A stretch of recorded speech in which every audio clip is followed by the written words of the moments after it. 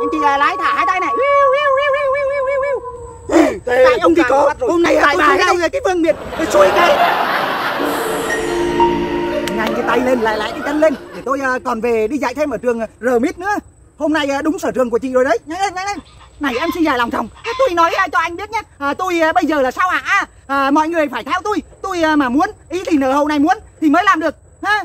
Thế hôm nay làm cái gì nào? Cô thấy cái xe phân cục lớn ở đường kia không ngày trước à, yêu thằng chí thì được à, nó kéo mo cao cho ngồi. Còn à, bây giờ à, đoạt giải hoa hậu thì được à, các đại gia rước bằng G63 để nương tựa. Chứ à, chưa đi con này bao giờ.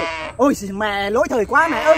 Phải vào đó để tiệm cận hơn à, cái tụi à, Gen Z mà bán à, ba cái đồ bikini rồi à, còn bán thêm nhiều cái xe phân cục lớn không à, giấy tờ nhập lậu à, từ biên giới về nữa chứ. Hả à, thế bây giờ làm thế nào? Ngồi lên đúng không? Sao thiểu năng thế? Còn làm gì nữa? Lên xe chụp hình chứ còn gì nữa? Đây anh chị à, lái thả hai tay này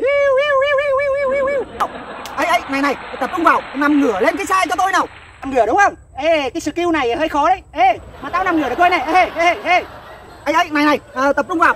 Mà tao nói cho biết này là tao chưa có bằng lái đâu. Mẹ cứ yên tâm ờ, chụp hình đi. Cái đó ờ, cùng lắm là phạt 10 triệu thôi. Để nhà tài trợ nó đóng phạt cho. Chắc chắn nha em xin giải lòng thảo cái mông lên. Nhọn nhọn cái mông lên. Nhọn mông nhọn hắt rồi đấy. Còn không thấy nữa hả? Sexy thế này rồi mà. Chưa được chưa được. Nhọn nhọn cái mông lên. Mà hành nhau vừa thôi em xin dài lòng thòng ạ? Bà sexy thiêu gửi chút nữa. Thì người ta ngu nó mới chết. 36 thế. Thế nào à, chị cũng làm xong rồi mà còn à, bắt ép gì nữa? Chưa xong đâu. Tạo thêm à, cái kiểu đảo cày qua núi nữa là được. Nào nào. Ê, cố lên chút đi nào. À, vì đồng tiền thôi. À, gần xong rồi đấy. Ý thì nào hầu ạ à. ui trời ơi à, tôi xóm xuống à thôi đưa nhau đi. Trốn nào? Trốn đi trốn đi.